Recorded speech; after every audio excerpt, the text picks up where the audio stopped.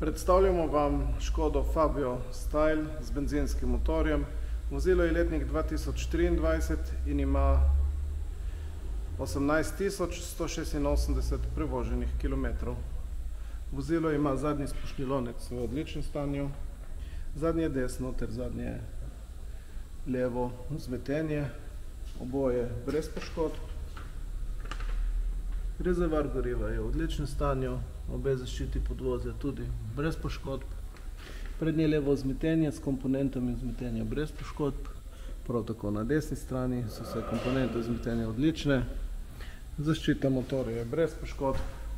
Prednji odbijač vozila ima rahlo površinsko prasko na dnu odbijača, vendar kljub temu v odličnem stanju.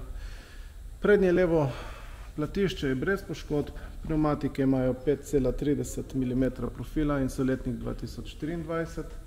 Levi prak vozila brez poškodb, zadnje levo platišče tudi brez poškodb, pneumatike letnik 2023 in 5,37 mm profila.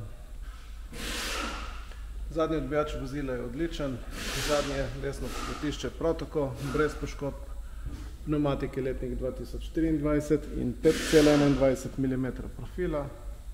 Desni prak vozila brez poškodb, ter prednje desno platišče tudi odlično, pneumatike so letnik 2023 in imajo 5,52 mm profila.